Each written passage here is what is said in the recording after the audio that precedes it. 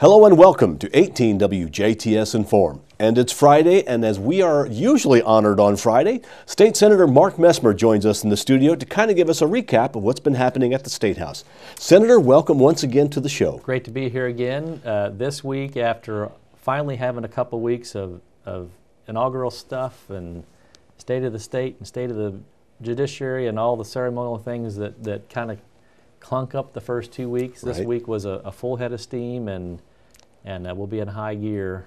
Uh, we have our mid, midway crossover point about the first week of March, so the next few weeks will be busy. This week was real busy, so. Well, let's let's start talking about some of the right. things you think that people would like to know about and how things are going for you. Sure. Okay. Well, we Great. had uh, we had 15 bills and, and a and a joint resolution uh, have final passage this week. I had one of my first bills uh, receive final passage in the Senate unanimously, so that's always good when they Oh, yeah. should, should be a non-controver- non-controversial bill and actually one that has some good practical. I mean, a lot of these things just pop up out of the district. I had a fellow from Haysville called me last summer. He said, "I sold my car to a, an, a, another individual, lived in Huntingburg.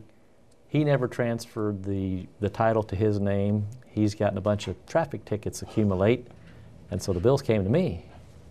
He said, I went to the BMV and they said, uh, you know, there's nothing, nothing in law that allows us to transfer that vehicle out of your name. Um, so Huntingburg was happy enough to waive his tickets, which that was good. Yeah. Uh, and, and the BMV said, you know, you're going to have to find some resolution from the General Assembly. So he called me and I put together a, a bill draft and the BMV said, you know, that'd be a good idea because this kind of thing happens, you know, several times a year and, and there's no remedy. So this would allow the seller of a vehicle to take their bill of sale and their, their um, former um, vehicle registration and take it in as and and get the transfer of the vehicle out of their name. Now that could come into play when you scrap a vehicle out, and then sometimes when you sell a vehicle at auction, that other person doesn't ever complete that transaction. So a lot of people thought it was a good idea. Just wonder how does that never happen before, or why nobody ever tried to fix it. So. Uh, But that, was that's what was going through my mind. Yeah. Well, why way to go. That's a good one. Yeah. So that was a good one. Yeah. Um, the other, you know, big item we passed this week was SJR 7. It's the it's the constitutional balanced budget amendment. Our Constitution uh, requires that Indiana not go into debt, but it's really been loosely determined in the courts what exactly that means. Um, what I mean, what we are for sure not allowed to do is just take a bond out on budget deficits and, and fund, you know, like a lot of states do that, Illinois being one of them. Mm-hmm. They just keep taking out bonds on more and more debt, and pretty soon you end up with a pretty scary scenario. Well, what we've had happen in our state in the past is for maybe our fiscal year ends on June 30th. It's July, July 1 to June 30. And there was many, many years they just quit paying their bills in June or maybe, you know, all the way back to the last week in May. They just stop paying their bills when they're out of money. And then every, I mean, maybe one year it's two weeks, and the next year it's three weeks, and the next, and they just would get farther and farther, you know, behind in paying. So they were never officially in debt, but they weren't. They were spending more. They were, you know, more than they were taking. So this uh, SJR seven will just put some teeth into what, you know, what that balanced budget requirement or no debt requirement in our Constitution means, and and put some parameters on it. And if there are times when you've got you know emergency situations, you know what what legislative has to happen to deal with that. So uh, we were only one of four states not to have a balanced budget amendment in our Constitution. So um, it's Soon probably we time. will. So, yeah, it, it'll be if it gets passed in this General Assembly, which it probably will. It passed, you know, uh, in the last General Assembly. It'll go on the ballot in 2018 for uh, voter approval.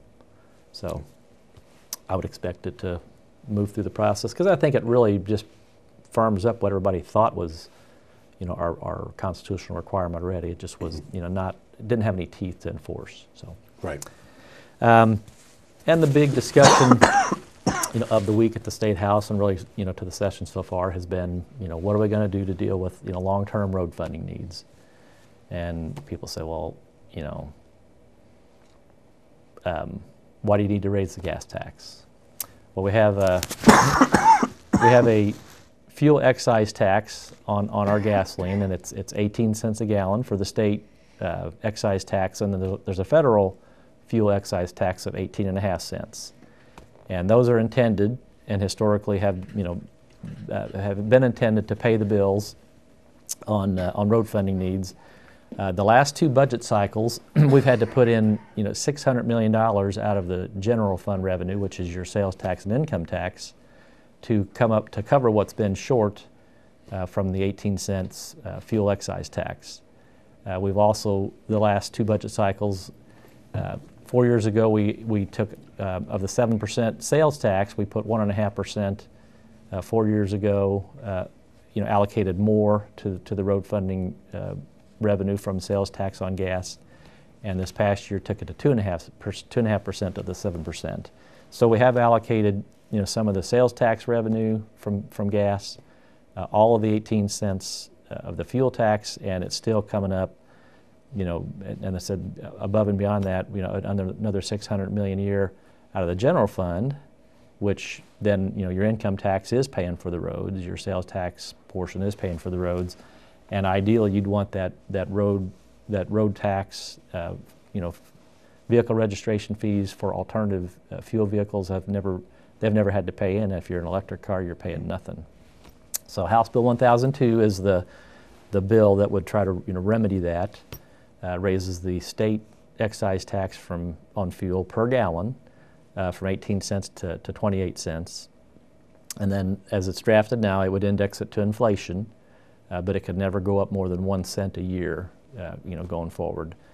You know, whether we index it or not is a you know, legitimate, you know, point to question because, you know, why put, you know, the legislatures down the road off, you know, from I guess, you know, why take them off the hook from having to raise it if it needs to be raised? Um, but if you index it then as inflation goes up or down, you don't have to, you know, have to come back and, and readjust it. The current rate hasn't been adjusted since 2003, and just indexing it for inflation would take it to the, where the proposal is today.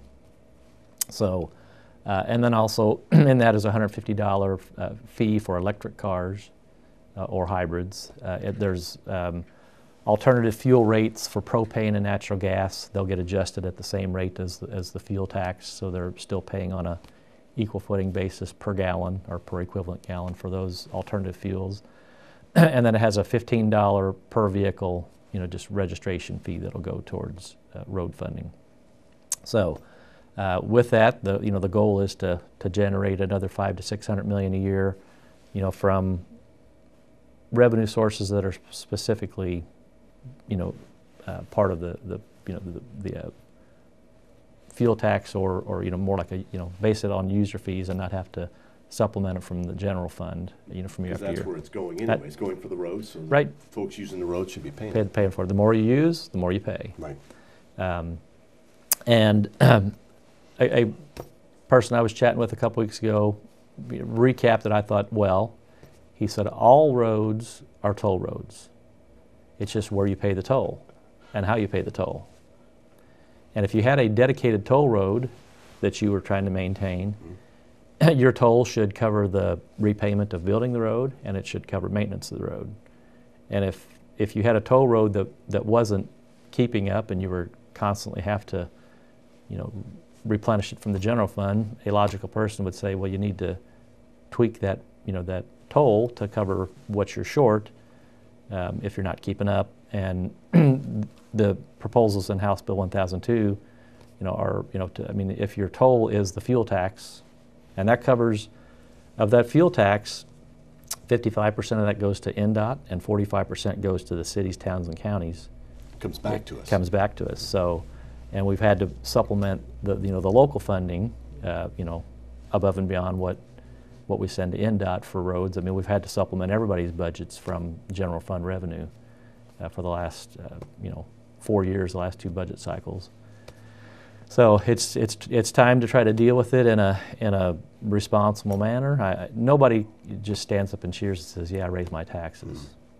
But at some point, you have to get ahead of it. You, you have to get ahead of it. And, and, and you have to set it up to try to be sustainable uh, for the long term and, and bringing in you know some adjustments to the alternative fuel vehicle usages to the electric car usages. Because over time, those are going to become a, a bigger percentage of your road funding mix, and, and your as mileage standards keep getting raised by the federal government, your consumption of gas, you know, keeps going down. People shift, you know, to other, you know, alternative fuel sources. Mm-hmm.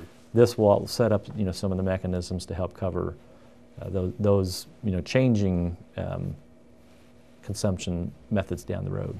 Yeah.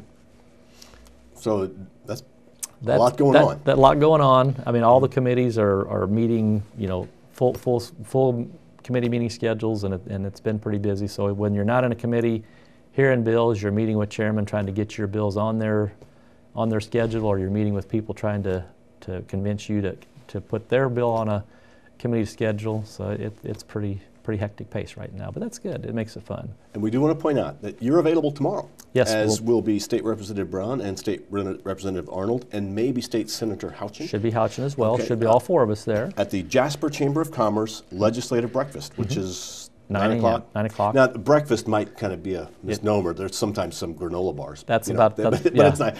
But I it's think at the, at the VUJC Technology Building. Right, the C10 building, which is the north side, the brand new building. Yep. It's in the auditorium, nice place to go. No registration, no fee. Nope. You can sit back and listen. You can ask questions. It's really, it's, and it seems to keep growing. It's, it's a great mm-hmm. opportunity to hear what's happening in legislation. And each of you will get a chance to talk and answer questions. Correct. So look forward to that. Come out if you can. All right, and it's the first of what will maybe be two. We'll do another one for sure, I think, at the end of February, and then probably one in, towards the end of the session as well. So that's tomorrow morning. So you'll get a chance to talk with Mark in person if you would like, or the state representatives. Thank you so much, uh, Senator, for coming in. It's always a pleasure to You're see you. You're welcome. Good and uh, look forward to seeing you next week. Okay, great. right. Thank and you. I'll, well, I'll be seeing you tomorrow morning, as I hope, uh, folks, you'll be showing up as well. This has been WJTS Inform with State Senator Mark Messmer joining us. We thank you for watching. We are local people watching local people.